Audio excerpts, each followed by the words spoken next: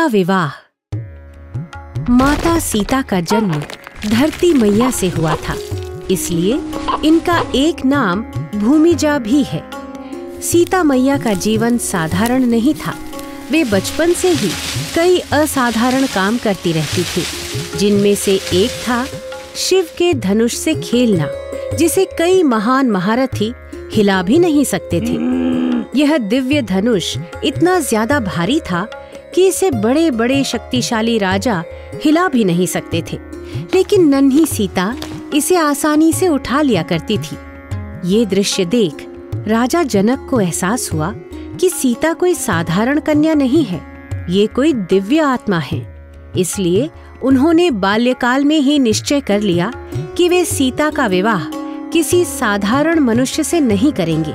लेकिन वे सीता के लिए दिव्य पुरुष को कैसे खोजें? ये सवाल उन्हें अक्सर सताता था। तब उन्हें ख्याल आया कि वे स्वयंवर का आयोजन करेंगे, जिसमें ये शर्त रखी जाएगी कि जो धनुर्धारी शिव के इस महान दिव्य धनुष पर प्रत्यंचा चढ़ाएगा, वो ही सीता के योग्य समझा जाएगा। शर्त के अनुसार, सभी राज्यों के राजाओं को स्वयंवर का निमंत्रण दे दिया गया। प्रतियोगिता शुरू हुई। कई बड़े बड़े राजा उठकर आए लेकिन शिव के उस दिव्य धनुष को हिला भी नहीं पाए। यहाँ तक कि इस स्वयंवर में रावण ने भी हिस्सा लिया और धनुष को हिला भी नहीं पाए। ये देख राजा जनक को अत्यंत दुख हुआ। वो कहने लगे कि क्या इस सभा में मेरी पुत्री सीता के योग्य एक भी पुरुष नहीं है? फिर उसके बाद गुरु वशिष्ठ ने राम को स्वयंवर में हिस्सा लेने का आदेश दिया। गुरु की आज्ञा पाकर श्री राम अपने स्थान से उठे और दिव्य धनुष के पास गए। श्री राम ने धनुष को प्रणाम किया और एक झटके में ही उसे उठा लिया। और जैसे ही उन्होंने प्रत्यंचा चढ़ाने के लिए धनुष को मोड़ा, वो टूटकर दो हिस्सों में गिर गया। इस प्रकार शर्त पूरी हुई और सभी तरफ़ से फूलों की वर्षा होने लगी।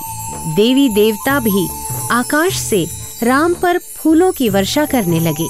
सीता जी ने श्री राम के गले में वरमाला डालकर उनका वरण किया और मिथिला में उत्सव का आरंभ हुआ।